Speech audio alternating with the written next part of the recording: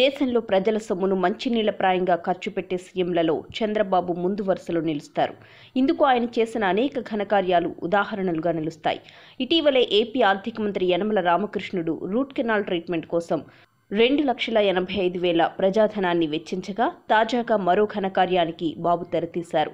ఒక లాయర్కి గంటకు ముప్పై మూడు లక్షల రూపాయలు చెల్లించాలని నిర్ణయించుకున్నారు. ఇందుకు సంబంధించి జీవో నెంబర్ టూ ఫిఫ్టీ నైన్ని కూడా జారీ చేశారు. ఈ వ్యవహారంతో దేశం మొత్తం మీద దండగా మారి ఖర్చులు పెట్టే వారిలో చంద్రబాబును మించిన వారు లేరన్న నిజం వెలుగు చూసింది రాష్ట్ర విభజన అనంతరం ఏపీ తెలంగాణ ప్రభుత్వాల మధ్య హైకోర్టు విభజన అంశం నలుగుతోంది. ఈ అంశంపై ఇరు రాష్ట్రాలు సుప్రీంకోర్టులో న్యాయ పోరాటానికి దిగాయి. రాష్ట్ర విభజన చట్టం ప్రకారం హైకోర్టు పదేళ్ళు ఉండాలి కానీ చంద్రబాబు చేతకానితనానికి తెలంగాణ ప్రభుత్వం ఒత్తిడి కూడా తోడు కావడంతో వెంటనే విభజన చేయాల్సి వస్తోంది. పదేళ్ళ సమయం ఉండగానే రాష్ట్ర ప్రజలను ఇబ్బంది పెట్టి రాజధాని పేరుతో నానాయాగి చేసిన బాబు దృష్టి హైకోర్టుపై పడింది. ఇంతకాలం వరకు హైకోర్టు విభజనను చంద్రబాబు పట్టించుకోలేదు కానీ హఠాత్తుగా దృష్టి పెట్టారు. రాష్ట్రం రెండుగా విడిపోయినా హైకోర్టు విభజన చేయకుండా జాప్యం చేస్తున్నారంటూ హైదరాబాద్కు చెందిన ధనగోపాలరావు ధర్మాసనంలో పిల్ దాఖలు చేశారు.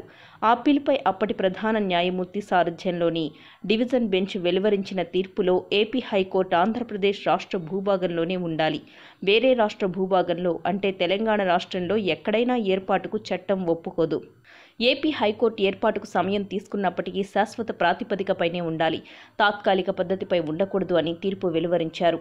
ఉమ్మడి హైకోర్టును ఈ క్రమంలో డివిజన్ బెంచ్ చెప్పిన తీర్పును తిరిగి సమీక్షించాలని తెలంగాణ ప్రభుత్వ ప్రధాన కార్యదర్శి తరపు అడ్వకేట్ జనరల్ రామకృష్ణారెడ్డి వాదించగా అందుకు బదులుగా హైకోర్టు భవనం కోసం పలుసార్లు కేంద్రాన్ని నిధులు కోరామని సంబంధిత రాష్ట్ర భూభాగంలోనే హైకోర్టు ఉండాలని రాజ్యాంగం స్పష్టం చేస్తోంది కాబట్టి గత తీర్పును సమీక్షించాల్సిన అవసరం లేదని అన్నారు. కోర్టు విభజనలో ఆలస్యమైతే ఇప్పుడున్న హైకోర్టును ఏపీకే వదిలేసి తాము వేరే కోర్టును ఏర్పాటు చేసుకుంటామని తెలంగాణ ప్రభుత్వం స్పష్టంగా చెప్పింది.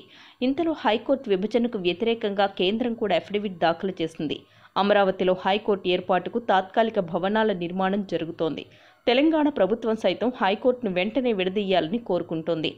ఏపీ ప్రభుత్వం కూడా ఇందుకు ఒప్పుకుంది. కానీ కొంత సమయం కావాలని అడుగుతుంది. ఉమ్మడి హైకోర్టు విభజనకు సంబంధించి వ్యవహారం సుప్రీంకోర్టులో ఉంది. ఏపీ తరపున గట్టి లాయర్లను నియమించుకోవాలని చంద్రబాబు అనుకున్నారు. ఇంకేముంది? ప్రముఖ న్యాయవాది పాలీ నారిమన్ పేరు ఖరారైపోయింది. ప్రభుత్వ అడ్వకేట్ జనరల్ సిఫార్సు మేరకు నారిమన్ను నియమించుకుంటున్నట్లు జీవో కూడా జారీ అయిపోయింది. అంతటి ఖరీదైన న్యాయవాదిని నియమించుకోవడం అవసరమా అన్నదే అక్కడ ప్రశ్న. ఏపీ ప్రభుత్వం తరపున వాదించినందుకు నారిమన్కు గంటకు ప్రభుత్వం చెల్లిస్తున్న ఫీజు అక్షరాల ముప్పై మూడు లక్షల రూపాయలు.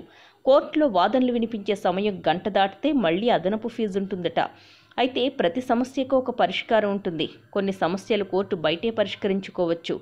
కానీ బాబు ఇందుకు సిద్ధంగా లేరు. తెలంగాణ ప్రభుత్వం చెప్పినట్లు హైకోర్టు భవనాలను తీసుకోవచ్చు. ఇందువల్ల గంటకు న్యాయవాది నారిమణకు ముప్పై మూడు లక్షల రూపాయల చొప్పున చెల్లించి కోట్ల రూపాయలు మిగిలే అవకాశం ఉంది. హైకోర్టు విభజనకు ఇచ్చుకునే ఫీజుతోనే తాత్కాలిక భవనం కట్టుకోవచ్చు. బాబు వ్యవహారాన్ని ఆయన దుబారా ఖర్చు విషయం సోషల్ మీడియాలో వైరల్గా మారాయి.